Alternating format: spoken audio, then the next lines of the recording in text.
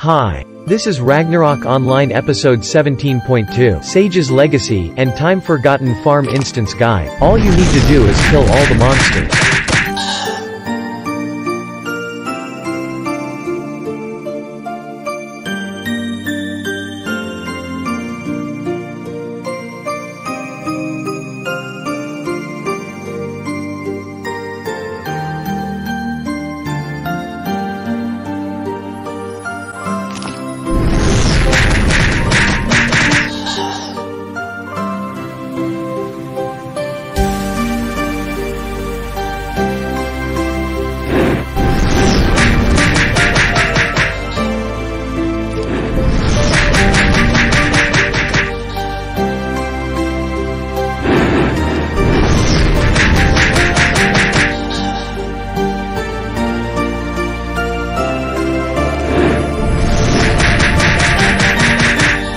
Remember to wear Evil Druid card as Stone Curse immunity for the MVP.